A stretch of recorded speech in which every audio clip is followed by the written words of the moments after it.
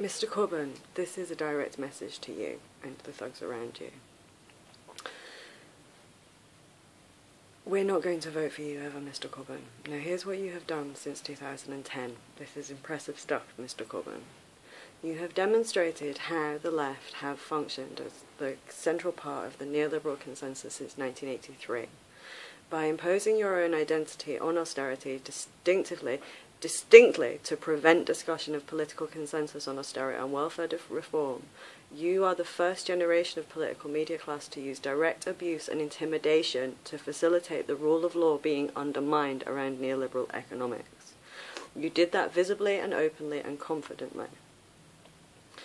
You have shown the dangers of failure to reflect on identity and power and how that always reprodu reproduces abusive systems. You have demonstrated the nub of fascism. And because you are busy protecting a false identity, you are now generating a risk of anti Semitism as well as abuse of women who you have placed outside the political system with the threat of violence if we discuss the systems impacted by austerity.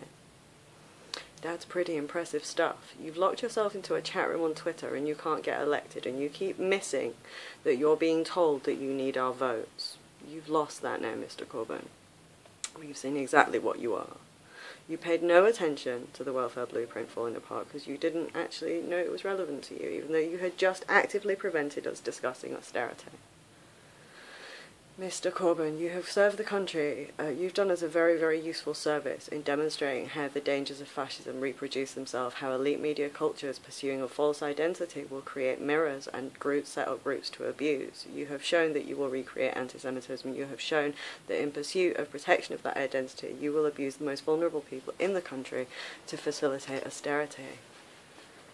It's a narcissistic delusional identity, Mr. Corbyn, that was allowed because you had sufficient institutional backup. You now have to function in an environment where people remind you that's false, which is why you're so dangerous to women. We watched you take over the Labour Party like an abusive spout. We were never ever going to vote for that. You went on to Newsnight and you openly sent people on there to tell them that democratic centralism and your thugs reproducing themselves and taking authority away from voters was a, was a good thing. You have directly threatened democracy.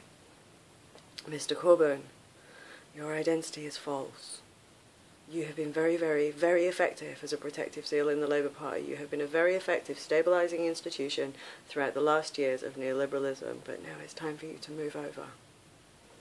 It's about time you learn what democracy is, Mr. Corbyn.